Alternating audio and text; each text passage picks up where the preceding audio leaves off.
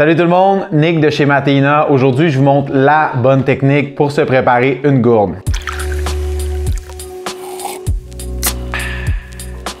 Donc, j'ai tout ce que ça va me prendre. J'ai ma yerba, j'ai ma gourde, ma bombilla et mon eau chaude. J'ai fait bien attention de ne pas la faire chauffer à plus que 70 degrés. Première étape que je vais faire, c'est je vais remplir ma gourde jusqu'aux trois quarts. Comme ceci. Ça, je vais venir placer la paume de ma main pour boucher l'ouverture de ma gourde. Je vais la revirer à l'envers, puis je vais venir la secouer à plusieurs reprises. Au moment d'enlever ma main, je vais la garder à 45 degrés, puis je vais enlever ma main très tranquillement pour créer ce qu'on appelle la fameuse montagnita. Puis je vais prendre mon eau chaude que je vais venir ajouter dans le petit trou.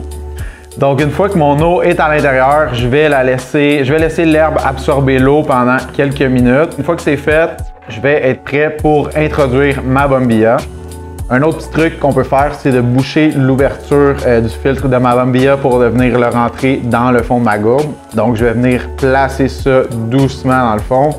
Quelque chose de très important, je pense la règle d'or avec le maté, c'est de ne pas toucher la bombilla une fois qu'elle est placée, de ne pas remuer euh, les feuilles avec la, avec la paille.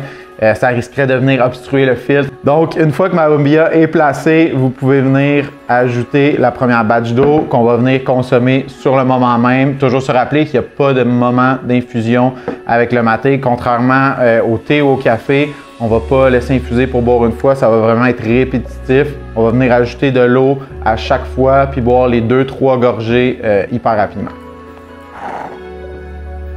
Puis en fait, une fois qu'on a atteint le fond, ben, on en rajoute et on recommence jusqu'à temps euh, qu'on sente l'effet désiré.